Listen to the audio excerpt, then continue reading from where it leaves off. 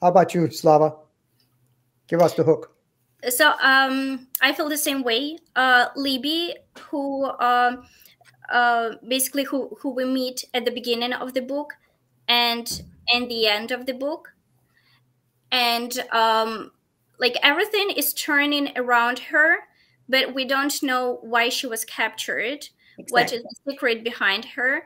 Mm-hmm. And then as the book comes to end, we have more questions that we uh, than we had at the beginning of the book. so I think that Libby is really the hook here, and uh, uh-huh. the one who carries some some secret that we don't know yet. Oh, that's the hook. Yes.